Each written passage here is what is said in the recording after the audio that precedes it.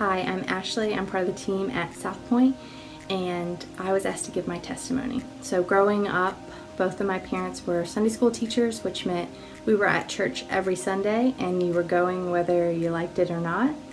At the age of nine, I was baptized.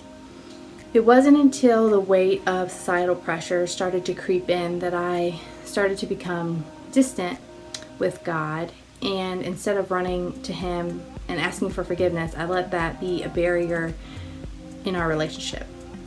So it wasn't until during college through FCA I got connected to a local church plant.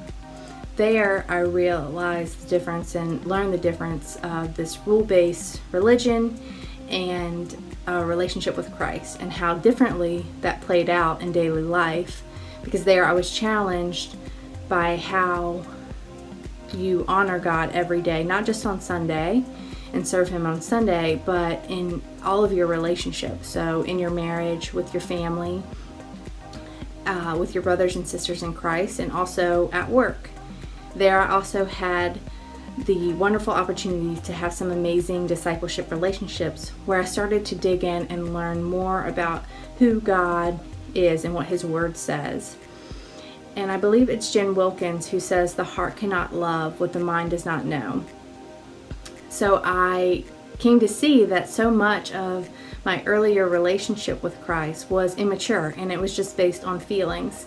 And while feelings are good, you have to have the truth in your heart to anchor you back when life gets hard and when it seems like the lies of the world are starting to seep in.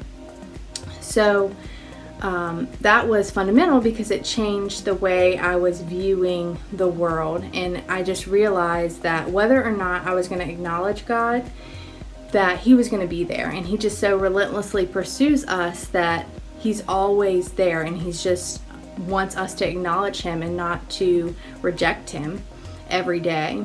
And um, it also helped me be more grateful because I realized, you know, I don't have to do this on my own. So every situation, I was looking for where God was going to show up, whether or not it was the way I imagined it would be or not.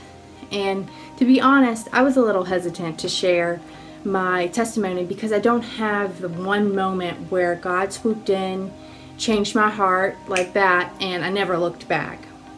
And He does that for some people, which is wonderful because that's what they need and that's what their heart needs. But I think that knowing how stubborn I am, if I had known how far God was going to bring me, I was going I would have dragged my heels the whole way. But instead he used just little decisions every day to push me to grow closer to him. So I think there's value in all of it. But I would challenge you this week to look for where God is showing up in your life. It could be time in the Word where you feel that He is really speaking to you, or it could be a song that touches your heart, or perhaps the most challenging would be to praise God and celebrate Him when you receive the answer no to a prayer because you believe that He's going to give you a better yes. Have a blessed week.